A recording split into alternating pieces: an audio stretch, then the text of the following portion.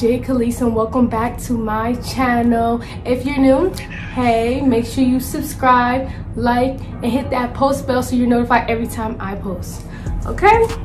So as you can tell by the title, I am to teach y'all how to grow your hair. And this video was requested in my last video and it was highly requested. Everybody kept asking me, how do you grow your hair that long? How do you grow your hair that long? And I'm here to give y'all some tips, the real tips. I'm not gonna sugarcoat nothing. I'm gonna teach y'all what I did to grow my hair. I'm gonna address all the comments in the last video real quick before I teach y'all how to, you know, grow your hair, blah, blah, blah. Because y'all was saying I did not know my hair type. And I was looking at the comments, but I don't think I have the hair type that y'all was telling me I have. I think I have 3C4A because I see some 4A strands and a lot of people told me I had 4A 3C. But if I'm wrong, I'm wrong. I don't know too much, but I think I had 3C 4A. But that's besides the point. That's not what y'all came here for. Y'all came here to know the tea, the tips on how to grow your hair okay? We're just gonna start right into it because y'all know i don't like doing all that talking in the beginning. I like to get right into the video and that's what i'm gonna do. First step is cornrowing your hair. So when i was younger like fresh out the womb not fresh out the womb. Once i started getting hair like one years old two years old my mom cornrowed my hair. Even if i didn't have no hair on the side she cornrowed that hair like every week until it started growing. And i feel like that really helped my hair grow because First of all, it's considered a protective hairstyle, cornrowing. So cornrow your hair. I don't really cornrow my hair no more. Sometimes I do after I wash my hair. Sometimes I do, sometimes I don't. But I feel like that played a good part. Like I was, I had my hair in cornrows for a long time, like middle school type mess. I would walk into school with them dookie cornrows, but like look what it did. Like it, I feel like it played a big part. Okay. Number two, step two, co-wash your hair. So co-washing your hair. If you don't know co-washing your hair, that means washing your hair with just conditioner. And in middle school, that's when I started co-washing my hair. I got put on by my mom. Thanks, mom. These tips really go out to her. But anyway, um, I wash. I used to co-wash my hair every day, and I know a lot of people's like, don't wash your hair every day. Um, if you have curly hair, don't wash your hair every day, girl wash your hair every day not every day at least wash your hair four times a week or when you have like gel or like edge booster in your hair, wash it out. Like, I feel like washing your hair plays a good part, like, because, I don't know. I feel like that helped my hair grow because in middle school, a lot of this stuff happened in middle school, if you, you know. But middle school, my hair was at a stump. But as soon as I started co-washing my hair, like every day, like every day I woke up for school, I used to wash my hair with conditioner every day. And um, I feel like I said every day a lot. Um, and I feel like it played a big part of, you know, making my hair grow. Step three, moisturize your hair. Oh my god. This is really important step. I mean i'm pretty sure everybody knows to moisturize their hair using oils. I will put some products on the side. I use what i use to moisturize my hair is i use Camille Rose. I just started getting into that thanks to y'all because y'all put me onto Camille Rose. That's some good product. And I also use some oils. I don't know off the top of my head what it's called. Coconut oil and it's a it's a type of coconut oil I use. I'm gonna put the products like over here. I'm gonna show y'all little pictures of what I'm talking about. So you need to feed your hair basically. You know, you know how we grow because we eat. We eat and we grow. So you need to feed your hair. Provide that like moisturizer, everything in your hair is gonna grow, grow, grow. Four, Take your time detangling. Start from the bottom and go up. Don't break through your hair like that. That's not good and it causes breakage. I used to do that. I used to just not even section my hair. I used to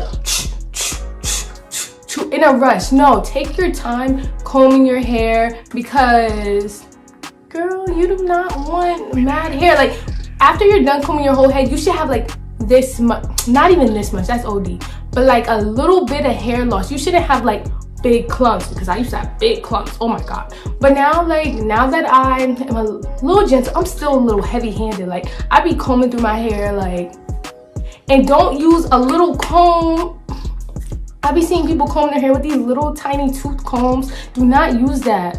Obviously it causes breakage. This is the comb I use and this comb is great. Like I think this comb is big enough. And there's some bigger combs, like the really big ones, but I don't like those combs because if you know they're big but they're like skinnier like the tooth is more skinnier and it's a, lot of them but i like these combs because i think this is called the wide tooth comb i think i'm pretty sure but yeah get this comb because this comb is and use a um Denman brush or a fake Denman brush i got the fake Denman brush you know it works the same i think number five i feel like i'm going mad quick with these steps but I'm gonna try to explain in depth for y'all. Protective hairstyles like twists, braids, box braids, cornrows, faux locks, wigs, even wigs, yeah, etc. Like those are use protective hairstyles. Um, hairstyles so you don't have to use gel and stuff.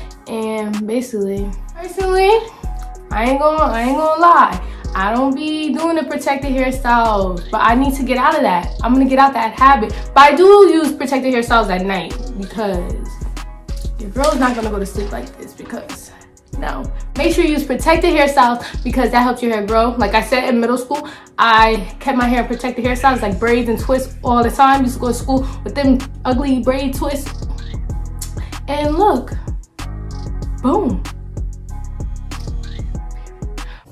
Period! Number six, stop using gel all the time. Jade, stop using gel all the time. And for y'all who use gel all the time, stop using gel all the time. It's not good for your hair. It breaks off your hair. It's cute because if you having that slick, you know, if you having that, that freaking bun slick, but stop using it all the time. Like, it's not good. But what I do, I use gel like every day. But not every day, every but mostly every day. But I wash my hair that same day. Like after my day's over, I then wash my hair. So um it like I don't I don't have to sleep with the um gel and it so it won't cause breakage. I mean sometimes you make some mistakes now and then but and go to sleep with it. But soon as long as you wash your hair, you're fine. So just stop using gel OD. Like try not to use it like six times. Like, you know, every day in a week. Don't don't do it. Try to limit down to like four, three, maybe none. Like just cut it out in general, but I ain't cutting it out. Seven, my favorite, because I keep this in all day. Like since Corona started, I kept this. I, I, I keep my hair like this all the time since Corona started. Sleep with twists, braids, and a bonnet or a scarf, whatever you use. And don't sleep with a hair tie, basically. This is the perfect time, okay? You don't go to school. Every, everybody got online school. Well, for all I know, I got online school. So you can keep your hair in twists all day, basically braids all day, and just put a bonnet on.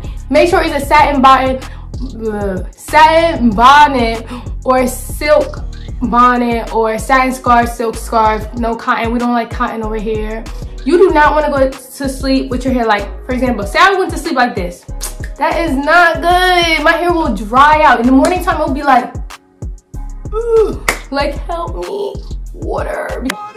No hair ties. Um, when I was younger, it's a lot of when I was younger and when I was younger. But when I was younger, my mom never let me sleep with hair ties because hair ties cause breakage. Now I do be slipping. I be slipping a little bit. But don't sleep with your hair ties because them hair ties do be causing breakage. Speaking of hair ties, make sure y'all use like, I don't use hair ties. I don't use hair ties. I use like scrunchies like these, these big ones, or I use headbands and I just wrap it around. Because these, you see how thick the band is? I don't know if y'all can see that. Yeah. The band is really thick and it won't, it doesn't really break off my hair unless I like yank it out, which I usually do. But don't do that. Don't do that. But little, them little skimpy, y'all know what I'm talking about. I'm gonna put a picture. Them little skimpy headband, hair ties, don't use those. They be ripping off your hair. Eight. Talked about that. Eight, basically, I put the same thing I did for the other one. Make sure you moisturize your hair. Um, find the products that help your hair, like experience the experiment the products. Um, basically, I talked about that. I don't know why I put that step twice, but it needed to be put twice so y'all can remember. Please moisturize your hair. You need to moisturize your hair. Don't really be walking around hair dry. Number nine, trimming your hair. Y'all might come crazy at me in the comments, and I'm prepared, but I don't trim my hair. I don't trim my hair. Like I trim my hair probably in my lifetime. I trim my hair like four times, and um, the last time I trimmed my hair was in I don't know. I was like seven years old. I'm pretty sure I was seven years old. I don't trim my hair. I don't see a point in trimming my hair. Um, a lot of people tell me trimming your hair is good, blah, blah, blah, this, blah, blah, that. But I don't feel a need to trim my hair because I keep my hair curly most of the time. I don't straighten my hair. So you don't see the split ends. And I barely have split ends because when I straighten my hair, my hair doesn't really split like it might have a couple like honest honesty it might have a couple but like people be saying like it's gonna like split all the way to the top my hair like i haven't trimmed my hair since i was seven and it's not all the way up here it's like literally you can't even see them like they're mad like it's a little bit so you i'm not saying don't trim your hair but to me it's not a necessity i don't want to say that wrong it's not really I don't like trimming my hair. And they trim too much. They trim too much at the salon. And I mean, I could trim it myself, but I'm gonna trim too much. So I just decide not to cut it. And I don't have no problem with it. Like, it didn't really... I don't feel like it has an effect, you know? You don't have to trim your hair. Like, you don't have to. Who's forcing you to trim your hair? Don't come crazy at me, okay? That's what I believe. Like, I believe you don't need to trim your hair. Y'all probably looking at it like, that's why it's uneven. It's not uneven when I straighten it, okay? When I straighten it, it all comes to the same length. It's just my hair are different curl patterns, okay? Because that's why you see some long pieces, some shorter, mm, blah, blah, blah.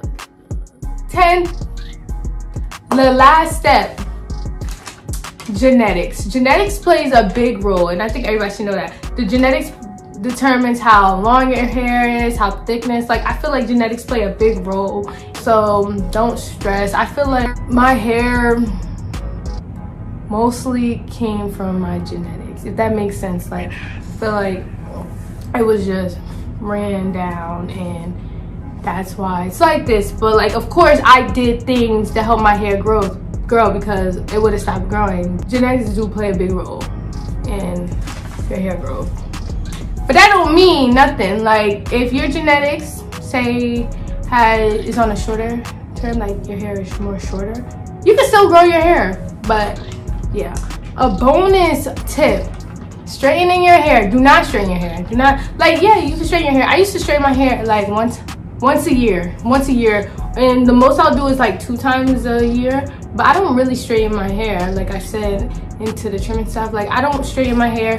Straightening your hair cause heat damage. And speaking of heat damage via to my last video the wash day video y'all was saying some of y'all was saying that I have heat damaged hair and honestly I feel like it looked like it was heat damage because I did have a towel over my head and the towel makes it frizzy and my hair is not heat damaged I just wanted to put that out there. My hair is not heat damage. It's just that because I barely straighten my hair. I straighten my hair like once a year, twice a year sometimes.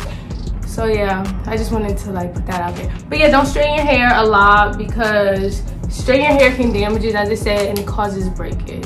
Yeah, that's all the tips that I have for y'all. If y'all have some more tips for me because I want to grow my hair a little longer, a little longer, just put them in the comments below um hopefully y'all take my tips and use them and tell me how they work and yeah i mean yeah i'm trying to think i'm trying to think i'm trying to think if i forgot anything because i don't want to forget anything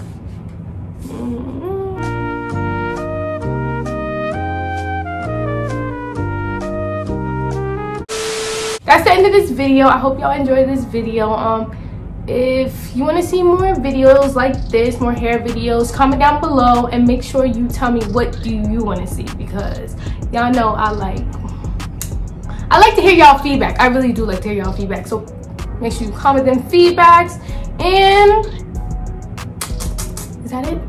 That's all. And make sure y'all like comment and subscribe. Uh hit that bell. Notify every time i post um, all my social medias will be down below. Make sure you follow my Instagram, my Twitter, and all that good stuff. It's gonna be down below. Make sure y'all description box. You know the box. You know the box. All right. Okay.